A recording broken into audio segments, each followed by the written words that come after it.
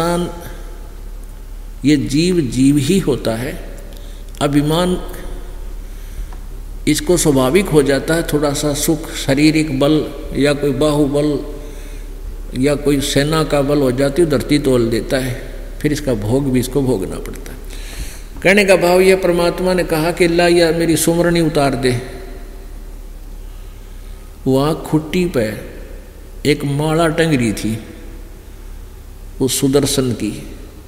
और भीम से कहा, भीम, ये माला उतार के दे, चल मैं चलता हूँ, फिर चलेंगे तुम्हारे वहाँ।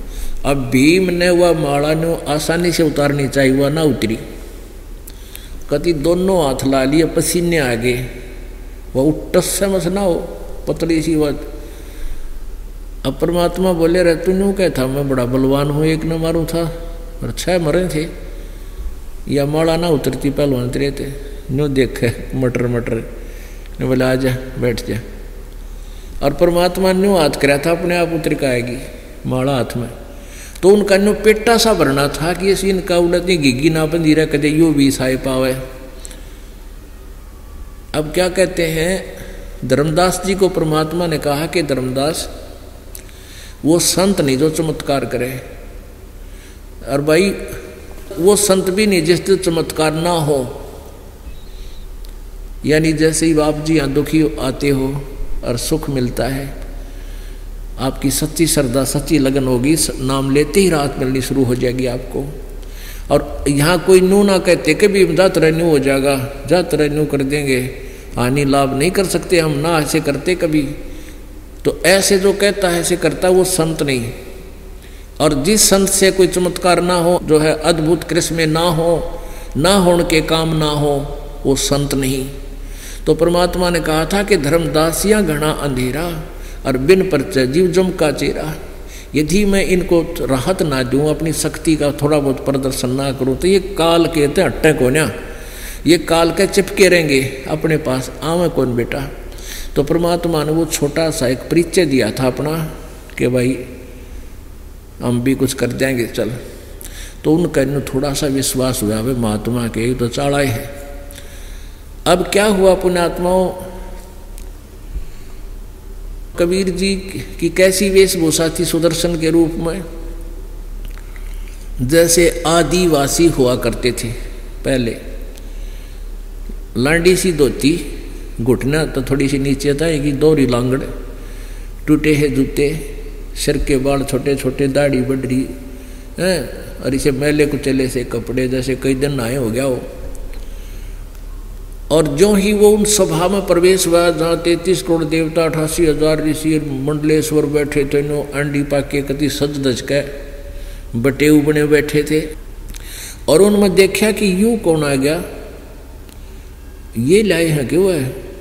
यू आया है कि यज्ञ संपूर्ण करेगा अपने कपड़ों को मुँह में ला के और तले तले, नो। अब यू लाए है, ढूंढ गए, यू करेगा इनकी यज्ञ न पूरी। उधर से द्रौपदी से श्री कृष्ण जी ने कहा कि द्रौपदी बहन, आप बढ़िया भोजन बनाओ। इस संत से तुम्हारी यज्ञ संपूर्ण होगी। अब द्रौपदी जी ने बहुत ही प्यार से, श्रद्धा से भोजन तैयार किया, क्योंकि बात कति अड़ी पड़ी थी। वैसे भी स्वभाव होता है, घर पर कोई अतिथि आ जाता है तो बहन बेटियाँ प्रतिदिन बनाने वाले भोजन से हटकर भोजन बनाती हैं।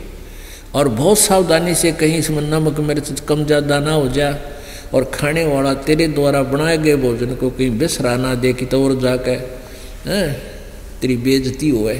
इसलिए बहुत अच्छा भोजन बनाती हैं और खाना खाने वाले से इंतज़ार करती हैं ये कुछ टिप्पणी करे।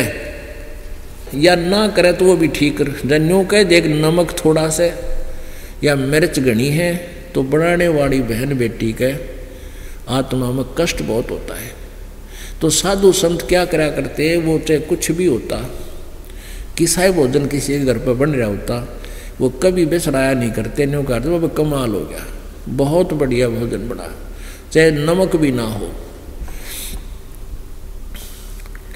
तो उधर से द्रौपदी जी ने इस दृष्टिकोण से बड़े सुंदर पकवान बनाए, न्यारे खीर हलवा, कचौड़ी, पकौड़ी, दाल, सब्ज़ी, कई प्रकार की सब्ज़ी, माद पूड़े। और भाई, बूरा मंडे, ये हर तरह के जलेबी लड्डू कचौरी, सब बना रहे थे।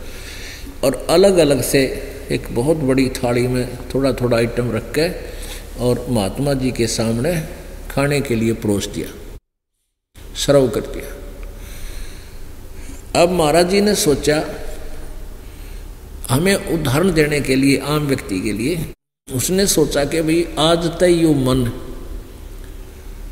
ये जीव चठोरी कर लेगा, नाना प्रकार के नारे नारे स्वाद लेगा, यू तड़का फिर मांगेगा, कल ने कितने लावेंगे इसने घास फूस खानी आदमी हम। तो उसने क्या किया, सतगुरु ने, अब मैं सुदर्शन ही कहूँगा, क्योंकि वो सुदर्शन का रोल कर रहे थे। अब सुदर्शन जी ने क्या किया, उस सारे आइटमा में थे थोड़ा थोड़ा आइटम उठा के अपना अलग से थाली में डाल लिया। और उन सबको इकट्ठा कर लिया। दाल भी, सब्ज़ी भी लड्डू भी, जलेबी भी, हलवा भी, कचौड़ी भी, पूरी भी सब कट्ठी तोड़ ताड़ के।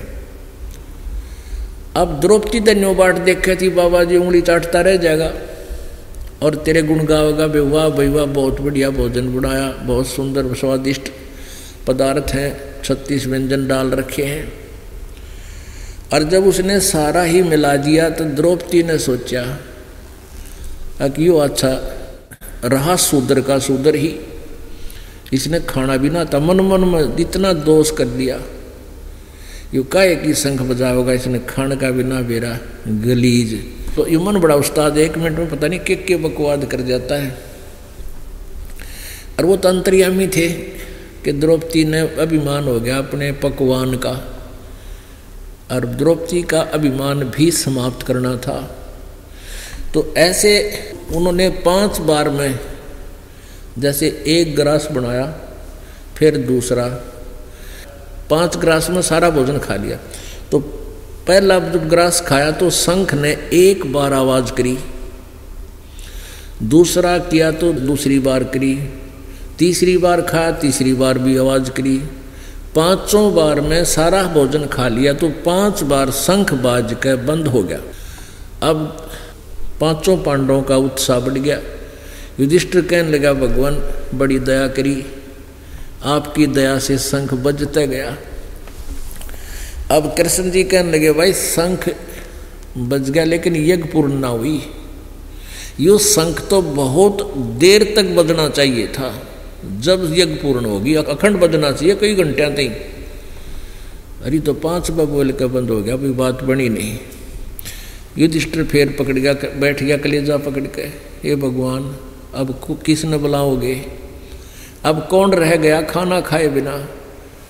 तब कृष्ण जी कहने लगे, कोई नहीं रह रहा भाई।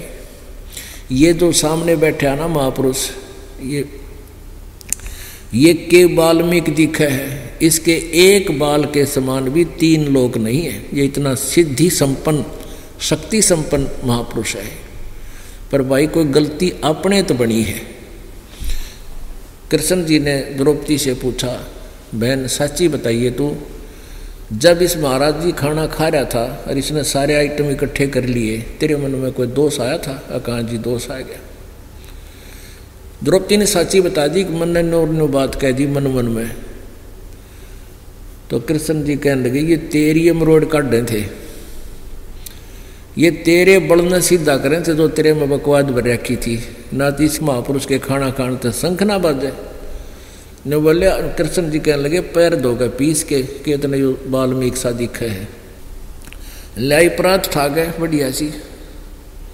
जल लाई, और उस वाल्मीकि के थी जिसने सुदर्शन के, यानी परमात्मा थे वैसे लेकिन वहाँ वो रोल वो कर रहे थे। द्रौपदी ने अपने हाथा चरण धोए वो मैल धूल युक्त और गाल के लोटे में पीण लाएगी आधा पी लिया जब श्री कृष्ण जी ने कहा कि, बहन, मुझे भी दे दे थोड़ा सा, इसे महापुरुष का चरणामृत और कब कब मिले? आधा द्रौपदी ने पिया, आधा श्री कृष्ण ने। और शंख अपने आप एकदम बहुत ज़बरदस्त आवाज़ करी।